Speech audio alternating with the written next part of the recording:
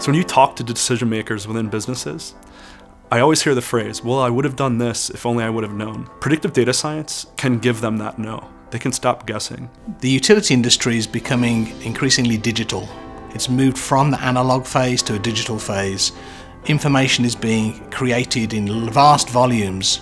Part of the challenge for the forthcoming years is how to make best sense of that information, how to turn it into actionable insights, and how to create value to customers and utilities uh, alike. The question is, what do I do with this data? And that's one of the things that we're helping our customers in a very efficient way to actually answer what they can use the data now, but they also how they can use the data in the future. Our industry, as a rule, has been really good about receiving information and reacting to it in almost real time. What we're not yet good at, but opens the door to all kinds of promise, is to be able to say, what if we could take the information that we have and blend it with other insights in order to predict the future? That's something our industry has great promise and potential to deliver, but only if we make the investments necessary to discover how to use information in more potent ways. I think that the biggest difference with Trove is that they may start with a specific use case where I can drive specific you know, ROI, but you know, the reusability of that use case and the reusability of the data behind that use case is what really sets Trove apart. Businesses without predictive data science toolsets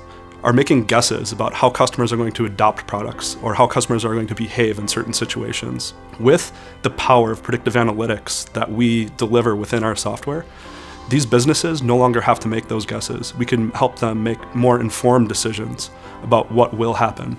This beauty of the software is that it can actually live in the present but also live in the future. And I think that's a uniqueness of our solution.